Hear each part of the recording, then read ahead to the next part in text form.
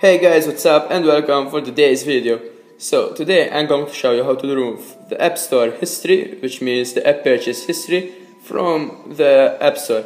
Obviously it works both for iPad and iPod and also for iPhone obviously.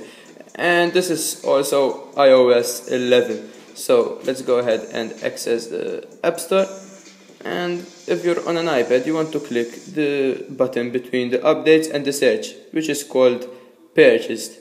But for the iPhone to access the purchase it's a bit different so because you have to press updates.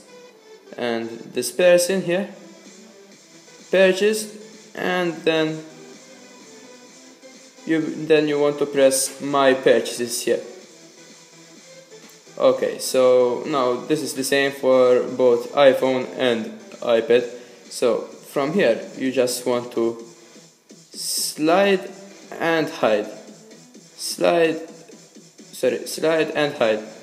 And like that you are removing the purchase history it's that simple guys. Pretty simple right?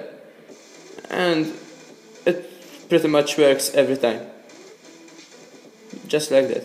So hope it was useful. Oh and it works also for installed apps as you can see.